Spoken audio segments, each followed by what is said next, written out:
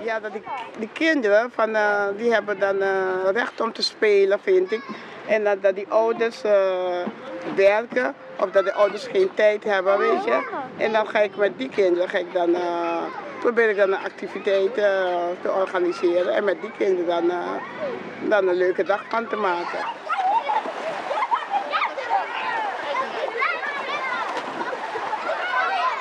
Ja, dus die grootste uitdaging van de kinderen in Lombardij is buiten spelen en dagjes uit.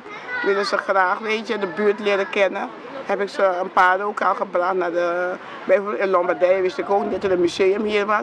Heb ik ze daar naartoe gebracht. Ze oh ja, een museum hier in Lombardije. En uh, ziekenhuis zijn we ook geweest. We hebben een bloem, uh, bloem een, dat, fruitmaand gemaakt. Hebben voor die zieke kinderen gebracht.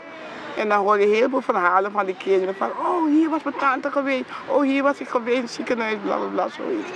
En dan uh, gaan de kinderboerderij. Hier in uh, de kooi heb je ook hier. Dus ik laat die kinderen kennis maken maar met wat bij hun in de buurt is. Dus je hoeft niet helemaal naar Blijdorp te gaan, verder afstanden. Maar we beginnen eerst bij jou in de buurt wat er allemaal voor mogelijkheden zijn.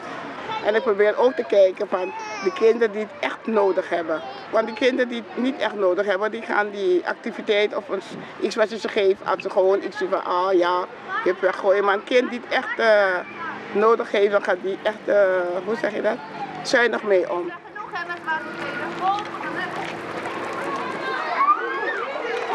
Ja, die, uh, ja, wat ik bijzonder vind aan Lombardije is van, we, we kennen elkaar hier in Lombardije. De, de, ja, ik zie mensen op straat en ik, ik heb ook net wat ik had vlotte bab ik groet van hallo. Volgende keer is het een heel gesprek en voordat je denkt zitten we gewoon in een activiteit of, uh, of diegene komt te vertellen van waarmee ze zit en zoiets. En dan kan ik ze doorverwijzen. Maar je kan zo en zo naartoe.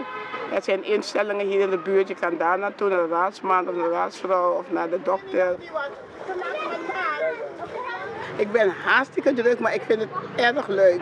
Uh, ik probeer het ook uh, regelmatig te doen en dat ik uh, mezelf niet voorbij loop. Dat is belangrijk. En dat vind ik gewoon leuk als ik zie dat die mensen blij zijn. De kinderen zijn blij. Dat doet het mij wel goed om echt meer energie in te zetten.